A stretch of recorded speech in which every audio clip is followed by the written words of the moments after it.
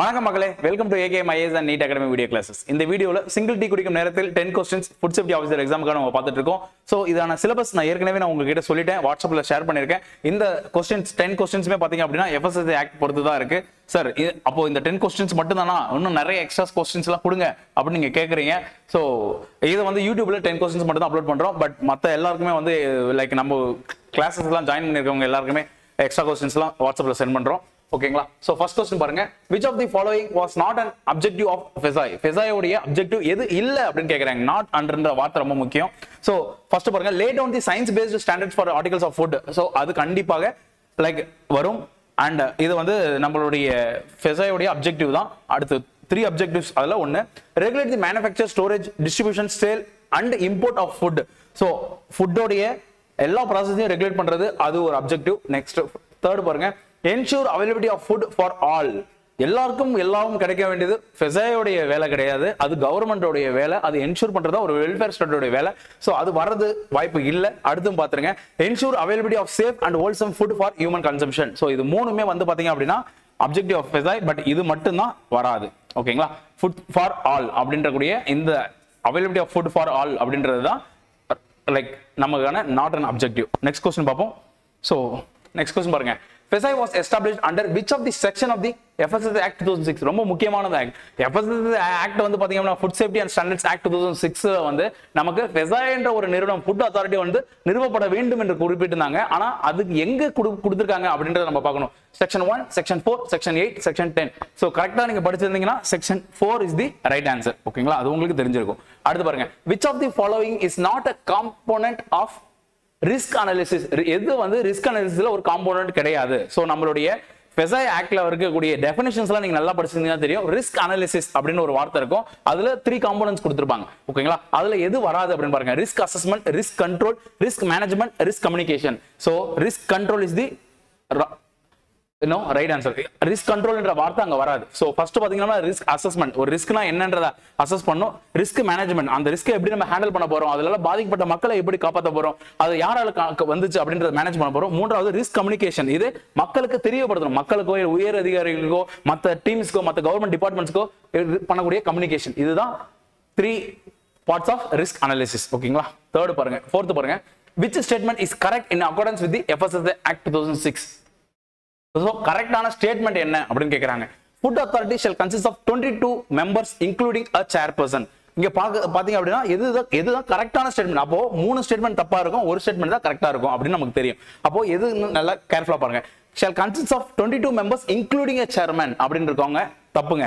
நம்மளுடைய ஃபெசா ஆக்ட்ல என்ன சொல்லியிருப்பாங்க அப்படின்னா சேர்மேன் அண்ட் சேர்பர்சன் புரியுங்களா பிளஸ் டுவெண்ட்டி டூ மெம்பர்ஸ் அப்படி தான் கொடுத்துருப்பாங்க. ஸோ இன்க்ளூடிங் பார்த்தீங்க அப்படின்னா ஃபுட் அத்தாரிட்டியில் டுவெண்ட்டி த்ரீ மெம்பர்ஸ் இருப்பாங்க. The chairperson of the food authority shall be appointed of the recommendation of the scientific panel அப்படின்றாங்க. சயின்டிஃபிக் பேனல் எதனால கொண்டு வருவாங்க?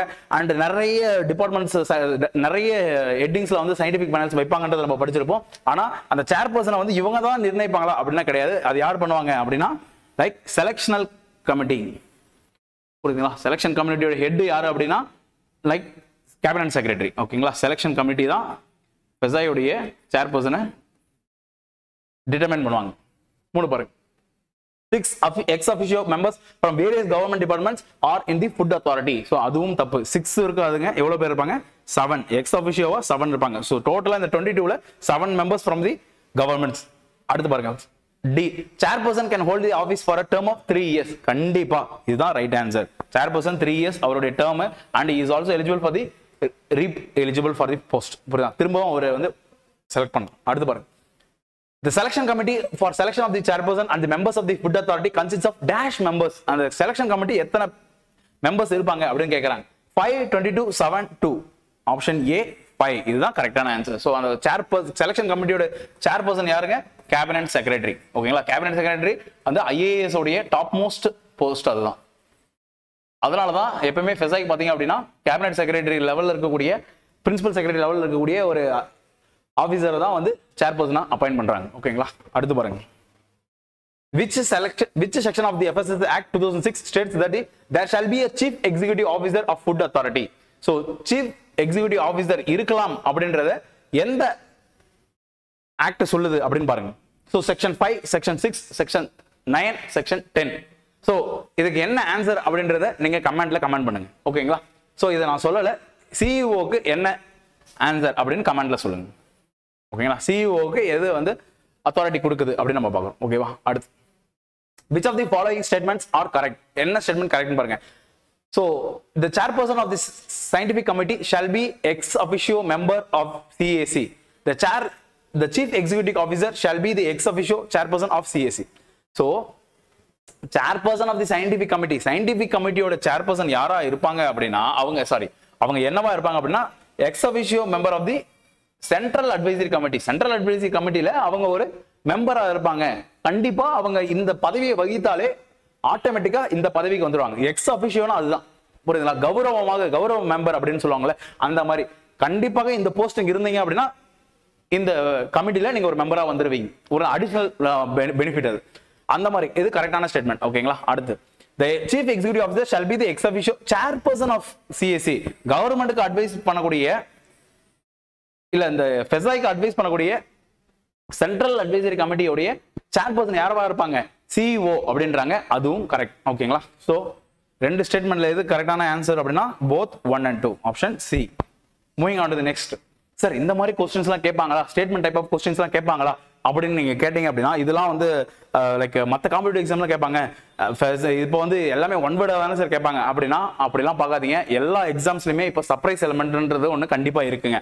அதுவும் இல்லாமல் நமக்கு hundred questions two hundred like hundred questions one twenty minutes ஓகேங்களா அப்படின்றப்போ கண்டிப்பாக கொஸ்டின்ஸ் வந்து தரமாக தான் இருக்கும். நம்ம வந்து டூ ஹண்ட்ரட் கொஸ்டின் சொல்கிறப்போ கண்டிப்பாக அவங்க வந்து ரேண்டமாக ஈஸியாக கேட்கலாம்.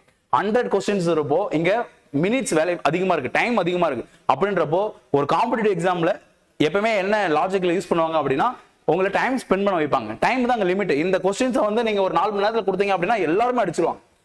சும்மா படிக்காமே வந்து சும்மா ஓரளவுக்கு நாலேஜ் இருந்து படிக்கிறவங்களே எல்லாரும் அடிச்சிருவாங்க. ஆனா ஒரு காம்படிட்டிவ் எக்ஸாம் நீங்க ப்ரிப்பேர் பண்றீங்களா? உங்களுக்கு வெல் ஸ்டப்டு நாலேஜ் இருக்கா அப்படின்னா இந்த குறிப்பிட்ட டைம் பீரியட்ல நீங்க அடிக்கணும். அதுதான் எக்ஸாம் அப்போ கண்டிப்பா இந்த மாதிரி கொஸ்டின்ஸை நீங்க எதிர்பார்க்கலாம். வேற எங்கேயுமே வேற எந்த அகாடமிலுமே சரி வேற எந்த யூடியூப் சேனல்லுமே வந்து பாத்தீங்கன்னா இந்த மாதிரி கொஸ்டின் செட் பண்ணிருக்க மாட்டாங்க. ஏன்னா இது வரைக்கும் அப்படிலாம் யாருமே பண்ணது ஃபர்ஸ்ட் டைம் நம்ம தான் அப்படியே பண்றோம். ஓகேங்களா லைக் இப்படிலாம் இருக்கலாம் அப்படின்ற கெஸ்ட்ல நெக்ஸ்ட் பாருங்க. Select the incorrectly match pair section one sorry section eleven central advisory committee section thirteen scientific panel section fourteen scientific committee section sixteen food safety officer எது இன்கரெக்ட்லி மேட்ச்டு பேர் அப்படின்னு கேட்குறாங்க கண்டிப்பாக நமக்கு என்ன தெரியும் செக்ஷன் சிக்ஸ்டீன் தான் incorrectly match ஏன்னா food safety ஆஃபீஸரை பற்றி பேசுறது என்னது செக்ஷன் தேர்ட்டி செவன் ஓகேங்களா செக்ஷன் தேர்ட்டி செவன் தான் எஃப்எஸ்ஓ பற்றி பேசும் so option C is the wrong புரியுதா மற்ற எல்லாமே கரெக்டாக இருக்குங்க சயின்டிஃபிக் பேனலை பற்றி பேசுறது தேர்ட்டின் சயின்டிஃபிக் கமிட்டி ஃபோர்டீன் ஓகேங்களா அடுத்து.